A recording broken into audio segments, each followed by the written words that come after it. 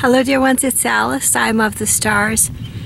I have a public domain prayer for you today called For Joy in God's Creation. And it goes like this O Heavenly Father, who has filled the world with beauty, open our eyes to behold thy gracious hand in all thy works, that rejoicing in thy whole creation, we may learn to serve thee with gladness.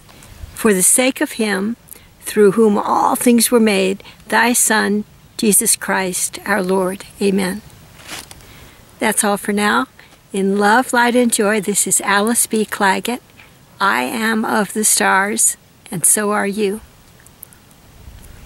Come and visit me at my glorious website, Awakening with Planet Earth, https colon slash slash awakeningwithplanetearth.com. There you'll find many more prayers.